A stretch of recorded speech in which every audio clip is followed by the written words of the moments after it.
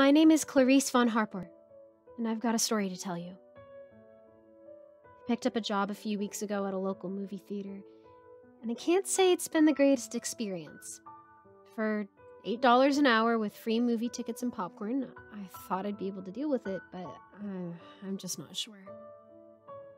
I started work about three weeks ago, and I met my manager, Trevion. He's very nice, and the best way to describe his appearance would be movie theater Jesus. He has scruffy hair and a long beard, but he's really funny and helpful, so I don't mind working with him alone most nights. I know so far this sounds like a fairly ideal job, but it gets intense. On Thursday, I was here with Trevion, and he asked me to clean up theater number four a while after the movie ended, just so it would be good for the next showing. It's not the most fun to sweep the aisles in a dimly lit theater room, but there is an upside. Any money you find on the floor is yours to keep. So far, I've really only found coins, but Trevion said that one time he found a 20. So far, I've really only found coins, but Trevion said one time he found a 20. On my first night, he told me, as long as it's not still in a wallet, it's yours to keep. So I don't mind sweeping out the theaters. Even a solid 50 cents is a nice tip when you only make $8 an hour. So I went into Theater 4 between showings, and as soon as I walked in, something was off. I had sold all of the tickets for our 4:30 showing, and I watched all 5 of the viewers leave when the credits started rolling. But as soon as I walked in, the feeling that someone was still in there was overwhelming. I was right. In the third row from the bottom, I could see the back of a head and shoulders with a hoodie on. Mind you, at this point the lights in the theater were all the way up, which doesn't illuminate the rows much, but it's very obvious that the movie was over. Of course, if the blank screen wasn't your first clue. I thought maybe the person was sleeping, so to be polite and not startle them, I said, Excuse me. Not too loud, but loud enough that the average Joe Schmo would hear me from the top of the steps. The figure didn't so much as flinch. So again, Excuse me, a little louder, hoping to stir them awake. Still no movement. At this point, I started to get weary of the situation. If they were asleep, they should have woken up at this point. Maybe this person had done drugs before coming to see it. Maybe they're just out of it. Or maybe they overdosed? What would I even do if that was the case? So I walked down the stairs, one at a time, slowly, and after every few steps, I'd call out, Pardon me! Step, step, step. Excuse me! Step, step, step. Do you need help? And so on until I reached the row with the figure.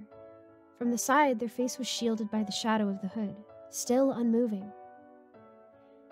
What I should have done was go out to the lobby and get my manager. In the event that this person was in some sort of medical emergency, I would have had to gone and gotten him for help anyway. But I didn't. I stepped onto the aisle, the dimly lit row only getting darker the closer I got to the middle of the row. I stopped with a seat's worth of space between myself and the person. Sir, the movie ended a few minutes ago. Are you waiting for someone? No answer. Do you need help? Do you need me to call the police or something? I could get my manager or something. Not an answer, but movement. I have to admit, it startled me at first. I didn't know if this person was ever going to move. It was very sudden. The figure stood up. It was tall, taller than any person I'd ever seen. Tall and skinny and shadowed by the hood and the dim lighting in the room. It stood unmoving, not speaking, facing straight ahead right at the blank screen. I couldn't see its eyes, but I imagine it wasn't blinking as it stared at the screen. Sir? I was terrified. Felt so uncomfortable, and I was fixing to turn around and leave. Something was so, so, so very wrong here. Just as I started to take a step back, that thing was right in front of me. I swear I didn't even see it move. It was looking down at me, and from my angle, I, I could see its face, just barely. Its face was thin, sickly thin, like its skin was stretched so tightly over its cheekbones that I couldn't believe it wasn't splitting open. The skin looked ashen, pale, and dead. Its eyes were dark and unnaturally large. Normal people's eyes are more oval like, but these were perfect circles. And as far as I could tell, they didn't have any eyelids. And its mouth was the most frightening. Lips were sloppily sewn back, exposing its many sharp and crooked teeth. It looked like some sick, screwed up smile. I could feel my heartbeat, but it was incredibly slow. Not at all what it should have been in this situation. It should have been beating out of my chest, palpitating, something. But instead it was resting. Smooth. Consistent. Instead of moving quickly again, it slowly started to lean down, bringing its face almost even to mine. It stopped once its nose was resting on mine. As it moved, I could hear its bones creaking. And the smell, it was gut wrenching. It smelled like rot death, decay. It was foul, and it was coming from its mouth. That mocking smile distributing the smell of pure evil. But still, as much as I felt like being sick, I never gagged. I just stood there, smelling its rotten breath. It was so strange. I felt sick in my head, but my body stayed calm.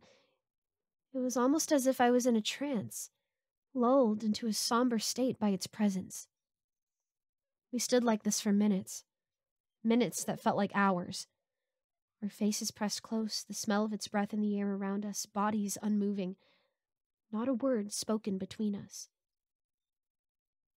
I honestly didn't know if I could still talk, but I didn't even feel like trying. Even though there were no words spoken, there was conversation being had, in the air around us, in the way its round, unblinking eyes stared into mine, in the steady beat of my own heart. The trance was broken by Trevion. Noticing my longer absence, he came in to investigate. From the doorway, I heard him say, Clarice, is everything okay in there? And suddenly, it was gone. In front of me was nothing, and beyond that, the gray carpeted wall of the theater room. Trayvon stepped into the theater, looking at me as I turned to look at him. Well? I, I snapped back into reality, perplexed by what had happened in those previous moments. Yeah, yeah, I'm okay. There was just a lot of spilled popcorn in this one. You know how people get. Since they don't have to clean it up, they don't have to mind making the mess. The answer seemed to satisfy him. Okay, well, hurry it up. The next set of showings is in a few minutes, and I'm gonna need you at the concessions counter while I'm in the box office. I got off around 11. Trayvon said he'd do the last bit of cleaning when the movies let out, and I wasn't going to pass up an offer to go home. The air outside was cold and still, somehow stiller than the air inside the lobby. The trees were still, the parking lot was silent, and the only light was from the moon, waxing crescent, I believe, and a flickering incandescent light on a lamppost. The only sound was the beat of my shoes on the pavement. When I got to my car, what I saw shocked me. Sitting on the hood was a beat up looking VHS tape with a little tape label on the front. It read, See what I see, be who I am, show them all. I didn't know what that meant, and it would have been in my best interest to take it in and show Trayvon or call the cops. After everything that had happened, I should have been more suspicious. But instead, I just picked it up and got in my car. When I got home, I raced up to my room and popped the tape in my VCR. First static, and then the video began.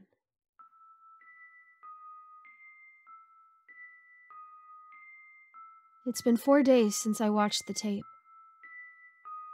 Something is wrong with me. I need help. And that's why I'm sharing this with you. Every day, I lose weight an excessive amount. I'm talking 12 pounds a day or more. My face is drawn taut, and I look sickly. My arms are thin. I feel like I'm wasting away. My eyes are slowly getting wider, more circular, and I feel like I hardly ever blink. My dreams are haunted by horrifying images, and when I'm awake, I see them behind my eyes. I need to show the world what I saw, spread the message. Let them become what I am. what it was. Tonight, I'm off work. I think I'm going to go see a movie.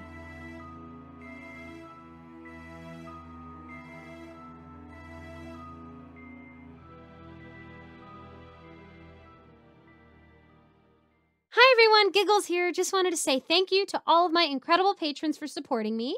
Tam B, Jen Miser, Skymara Ravenswood, Melissa Perez, Bernard Jackson, Leaf Ninja, Roy Larmer, Mr. Creepypasta, Neon Scoundrel, and William Dolphin. I'm still figuring out rewards for Patreon, but if you would still like to support, click the link in the description and I will hopefully have something for you guys soon. Thank you so much for watching, and I'll see you all in the next video.